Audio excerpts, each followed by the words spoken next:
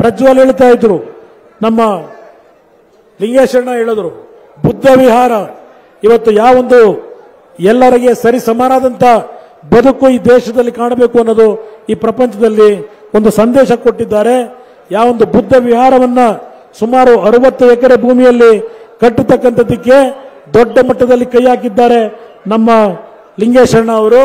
ಅದನ್ನು ನಾವೆಲ್ಲ ನಿಂತು ಮುಂದಿನ ದಿನಗಳಲ್ಲಿ ಆ ಕಾರ್ಯವನ್ನು ಮಾಡಿಕೊಡ್ತಕ್ಕಂಥದ್ದು ನಮ್ಮ ಜವಾಬ್ದಾರಿ ಮತ್ತು ಕಾಡಾನೆ ಅವಳಿ ಕಾಡಾನೆ ಅವಳಿಯನ್ನ ಸಂಪೂರ್ಣವಾಗಿ ಶಾಶ್ವತವಾಗಿ ನಮ್ಮ ಹಳ್ಳಿಗಳಿಗೆ ದಾಳಿ ಮಾಡ್ತಕ್ಕಂಥದ್ದು ಹಲವಾರಿಗೆ ಜೀವಕ್ಕೆ ಹಾನಿ ಮಾಡ್ತಾ ಇರ್ತಕ್ಕಂಥದ್ದು, ನಿಮ್ಮ ಬೆಳೆಗೆ ಹಾನಿ ಮಾಡ್ತಕ್ಕಂಥದ್ದು ಏನಿದೆ, ಶಾಶ್ವತವಾಗಿ ಸಕಲೇಶ್ಪುರ ಮತ್ತು ಹರಹಳ್ಳಿ ಭಾಗದ ನಿಮ್ಮ ಸಮಸ್ಯೆಗೆ ಪರಿಹಾರವನ್ನು ತಂದುಕೊಡ್ತಕ್ಕಂಥದ್ದು ನಮ್ಮ ಜವಾಬ್ದಾರಿ ಅಂತಕ್ಕಂಥ ಮಾತನ್ನು ಹೇಳಿ ಇವತ್ತಿನ ಸಭೆಯನ್ನ ಅತ್ಯಂತ ಯಶಸ್ವಿಯಾಗಿ ನಿರ್ವಹಿಸಿ, ಇವತ್ತೇನು ಕಾಂಗ್ರೆಸ್ ಬಿಜೆಪಿಗೆ ಇವತ್ತು ಉತ್ತರ ಕೊಟ್ಟಿದ್ದೀರಿ ಬೇಲೂರಿನ ಮಹಾಜನತೆ.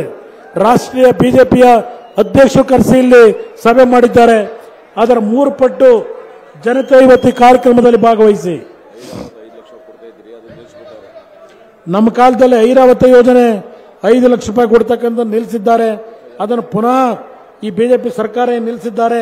ಪ್ರಾರಂಭ ಮಾಡಬೇಕು ಅಂತಕ್ಕಂಥದ್ದು.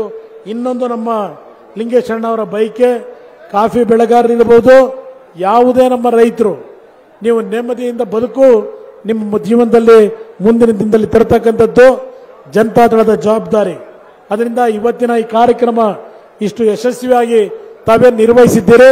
ಮತ್ತೊಮ್ಮೆ ನನ್ನ ಗೌರವಪೂರ್ವಕವಂತ ವಂದನೆಗಳನ್ನು ಸಲ್ಲಿಸಿ, ನಿಮ್ಮೆಲ್ಲರಿಗೆ ಭಗವಂತ ಒಳ್ಳೆಯದನ್ನು ಮಾಡಲಿ ಅಂತಕ್ಕಂಥ ದೇವರಿಗೆ ಪ್ರಾರ್ಥನೆ ಸಲ್ಲಿಸಿ ನಿಮಗೆ ಒಂದು ಎರಡು ಮಾತು ಮುಗಿಸ್ತೇನೆ. ಜೈ ಜೈ ಕರ್ನಾಟಕ ಮಾತು.